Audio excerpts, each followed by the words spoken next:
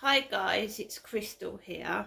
Um, it is now 10.32am and my mother Jennifer has called the phone again and there is guys dressed in what looks like my dad's orange coat that my mum sold for £20 after he passed away.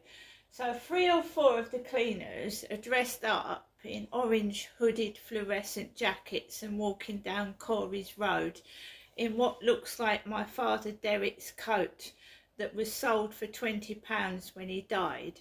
And my mum has now rung the phone again. I'm logging it and making a note of it in case I have to contact the police for some reason.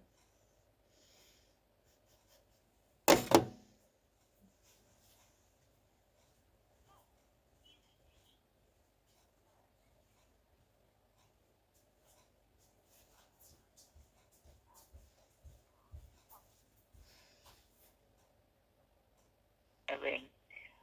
But do tell me when you are coming up to see me because I'd love to see you.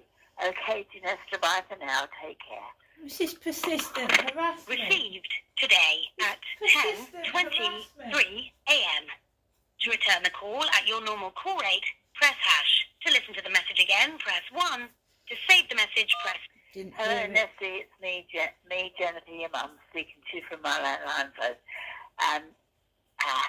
And obviously you're not coming up today, then, oh. Janessa, otherwise you would have given me. But do tell me when you are coming up to see me because I'd love to see you. Okay, Janessa, bye for now. Take care. received today It's purposely done to make you angry and upset. There's blokes dressed and women dressed like my father before he passed away, right? What's that?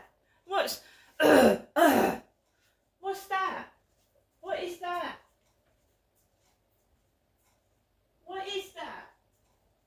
Is that most supposed to make me feel better, is it? It's supposed to make me feel happy. Ah! What is that? Can you see how all her constant harassment on the phone is affecting me and, and making me feel unwell? I'm just sick of it. See you later.